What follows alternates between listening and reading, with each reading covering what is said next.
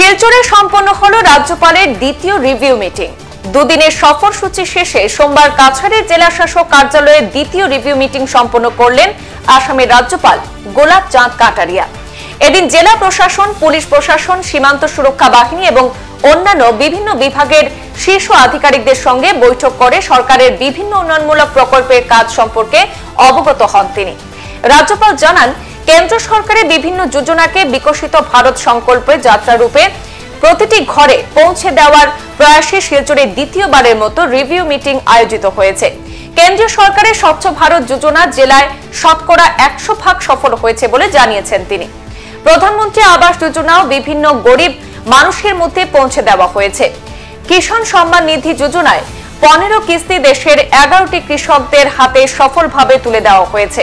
এছাড়া ভারত সরকারের আয়ুষ্মান ভারত যোজনার মাধ্যমে দেশের পঞ্চাশ কোটি মানুষ লাভান্বিত হয়েছেন। এক দেশ, এক রেশন কার্ড যোজনায় দেশের আশি কোটি জনগণ বিনামূল্যে রেশন কার্ডের সুবিধা পাচ্ছেন। দেশে চার কোটি রেশন কার্ড বন্ধ করে দিয়ে নতুন রেশন কার্ড প্রকৃত হিতাধিকারীদের মধ্যে পৌঁছে দেওয়ার সংকল্প বর্তমান ভারত সরকার নিয়েছে এবং যার কাজ আসাম সহ দেশের বিভিন্ন রাজ্যে বিতরণ করার কাজ ইতিমধ্যে শুরু করা হয়েছে। এদিন সড়ক পরিষেবার উন্নয়ন, পড়ুয়াদের স্কলারশিপ, সাইকেল বিতরণ উচ্চ শিক্ষায় বিভিন্ন সুবিধা প্রদান, সোলার সিস্টেম, মৎস্য পালন এবং আরোহণ যোজনা সহ অন্যান্য বিভিন্ন বিষয় নিয়ে কাছাড়ের জেলা শাসক কার্যালয়ে আয়োজিত দ্বিতীয় রিভিউ মিটিং এ আলোচনা করেছেন রাজ্যপাল গোলাপ চাঁদ কাটারিয়া। এদিকে সীমান্ত সমস্যা সমাধানে আসাম সরকার কর্তৃক গৃহীত বিভিন্ন বিষয়ে সংবাদ মাধ্যমের সামনে তুলে ধরেছেন রাজ্যপাল গোলাপ চাঁদ কাটারিয়া। তিনি জানান, সীমান্ত সমস্যা নিয়ে আসাম সরকার কাজ করে যাচ্ছে। বিশেষ করে অরুণাচল প্রদেশ এবং আসামের মধ্যে একশো তেত্রিশটি গ্রামের সমস্যা নিয়ে বৈঠকের মাধ্যমে বাহাত্তরটি গ্রামের সমস্যা ইতিমধ্যে সমাধান করা হয়েছে।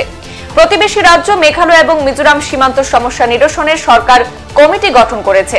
যে কমিটির মাধ্যমে আগামীতে বৈঠক করে শীঘ্রই সীমান্ত সমস্যার সমাধান করা হবে বলে এদিন আশা প্রকাশ করেছেন তিনি শুধু তাই নয় ভারত বাংলাদেশ সীমান্তের ত্রিশ কিলোমিটার এলাকা নিয়েও আলোচনা করার পাশাপাশি আন্তর্জাতিক সীমান্তের সমস্যা নিরসনে সরকার প্রয়াস অব্যাহত রেখেছে বলেও এদিন জানিয়েছেন राज्यपाल गुलाब चांद काटारिया सेकेंड बार रिव्यू है पहले मैंने मई महीने में किया था और अभी आज मेरा सवेरे हुआ क्योंकि यहाँ के फ्लाइट का समय है वो पहले ग्यारह साढ़े ग्यारह ही था इसलिए उसी हिसाब से जल्दी बुलाया इन सब लोग मुख्य जो रिव्यू में है, वो सरकार की जो दिल्ली केंद्र की सरकार की जो योजनाएँ चलती है, जिसके बारे में विकसित भारत संकल्प यात्रा के रूप में भी हर गाँव तक पहुँच करके ये प्रयास किया था कि ये सारी स्कीमों से जो व्यक्ति एलिजिबल है, उसको ये लाभ मिले।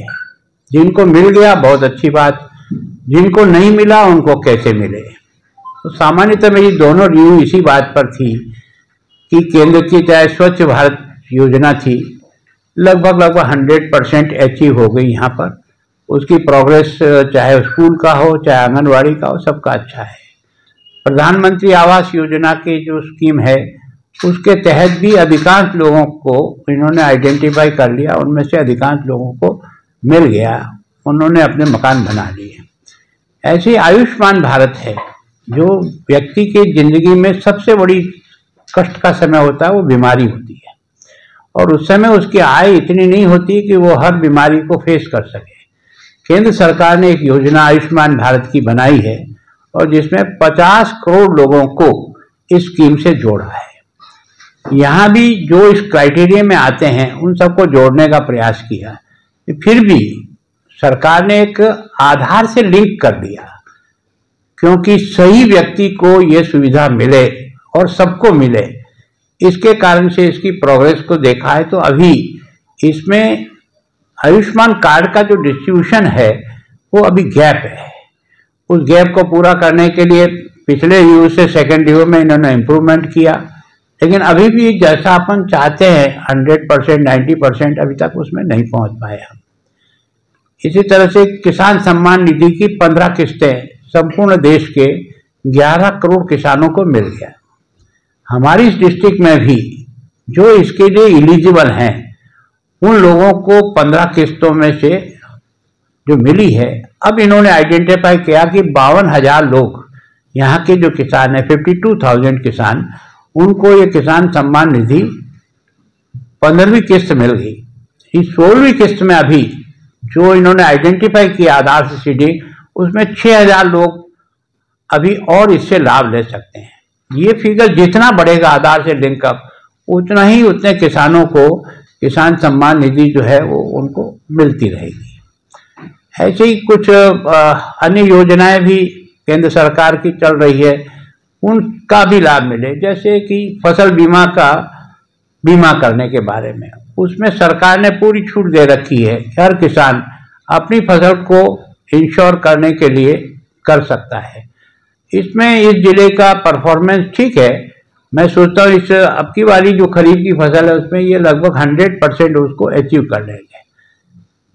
एक देश, एक राशन कार्ड, ये जो आज की तारीख में सबसे बड़ी सुविधा मिली है कि व्यक्ति यहाँ रहे, राजस्थान रहे, चंडीगढ़ में जाए या कहीं भी जाए, उसको अपना कार्ड का उपयोग उसी तरह से हो, जिस तरह से पहले होता था।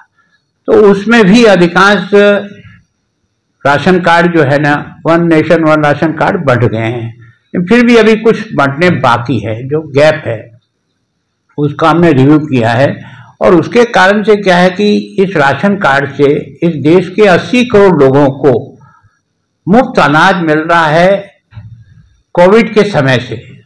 और ये 2028 तक उनको मिलेगा। प्रति व्यक्ति के हिसाब से पाँच किलो चावल हो, चाहे पाँच किलो जो भी गेहूँ, अनाज जैसा भी उस जगह खाते हैं, वो उनको मिले। तो ये उनको सबसे मिल रहा है। लेकिन इस सारी छानबीन में आधार को उन्होंने अनिवार्य किया, जिससे कि ये जो फर्जीवाड़ा है, ये किसी तरह से रुके। तो इस देश में चार करोड़ राशन कार्ड फर्जी निकले। वो सारे ड्रॉप हुए। और उनकी जगह अब हर स्टेट को और हर डिस्ट्रिक्ट को एक्स्ट्रा राशन कार्ड बनाने की कैपेसिटी, वो जो चार करोड़ लोग जो बचे हैं उनको अब नए लोगों को जोड़ने के लिए काम चल रहा है और इसीलिए आपके यहाँ आसाम में भी अभी जो राशन कार्ड का डिस्ट्रीब्यूशन हो रहा है ये वही राशन कार्ड है जो चार करोड़ गलत लोगों को जा रहा था वो जो रुका है वो वापस चार करोड़ नए लोगों को मिले जो इसमें तो उनको मिलने का ये डिस्ट्रीब्यूशन का काम भी ठीक से चल रहा है সংবাদ এ পর্যন্তই ফিরছি পরবর্তী অন্যান্য আপডেট নিয়ে ধন্যবাদ